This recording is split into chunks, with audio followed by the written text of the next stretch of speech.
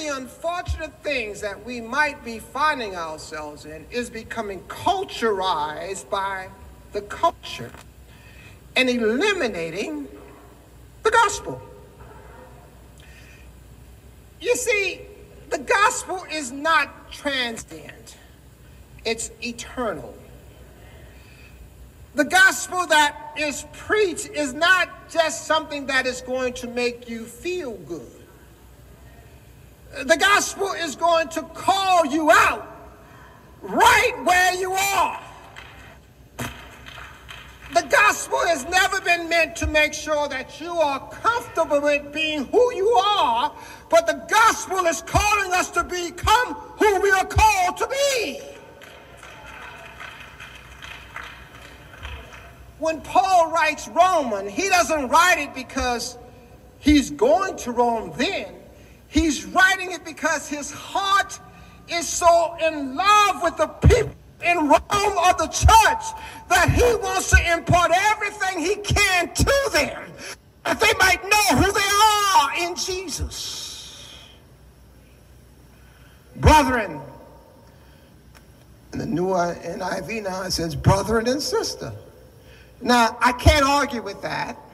And the reason I can't argue that because when Paul closes the book of Romans, he lists a number of women that he's acknowledging. Amen? And then he lists the men. So in reality, to say brother and sister is truly scriptural sound because that's who he was talking to when he concludes the book.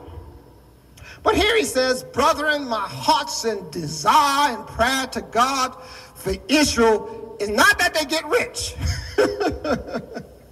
not that they have a lot of money, of everything going their way. Not that things are perfect in their lives, but my heart's and desire and prayer to God for Israel is that they might be saved.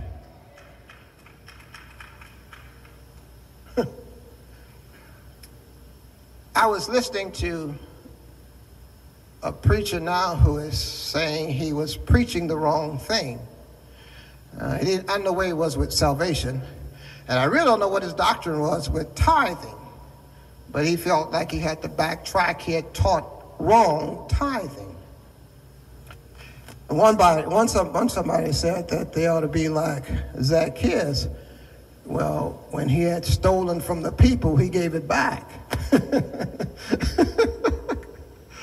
they were saying, well, now that you've recognized what your wrong is, you may want to give that money back. And in fact, you ought to give it back in institution amount as well.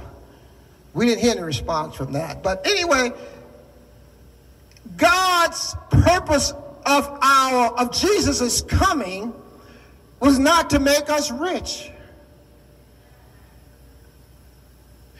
It was to give us abundant living. Now, if you got just happen to get rich, that's fine. Ain't nothing wrong with being rich, right? But if we preach a gospel that is calling people to economic wealth and justice here and justice there, that's an addendum to the gospel. That ain't the gospel.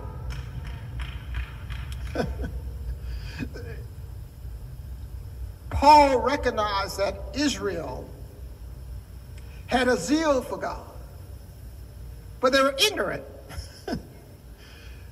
this concept of substituting stuff for the gospel of Jesus Christ that makes brings us into righteousness. This concept of substituting stuff is not new, is the, is the point. Paul was responding to everything that the church may have done or was possibly going to do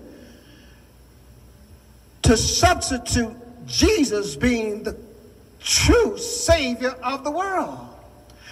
He did not bend on that. You know, there's a lot of things we have to change as Christian communicating, right? But let me say something to you.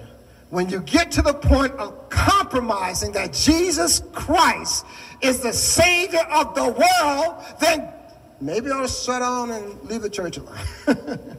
maybe it's time to close our doors because the only thing that's going to change the direction that the world is going in is that we're preaching Jesus is the Christ the Son of the living God. Now, if we change that message, then Jesus becomes a fake. I am the way, the truth, and the life. no man comes to the Father but by me. Now, if he said it and we believe it, then we can't change that word to accommodate those who are around us. At some point, we need to stand up for who God has called us to be. Because the world needs you and I to be the example that God has called us to be.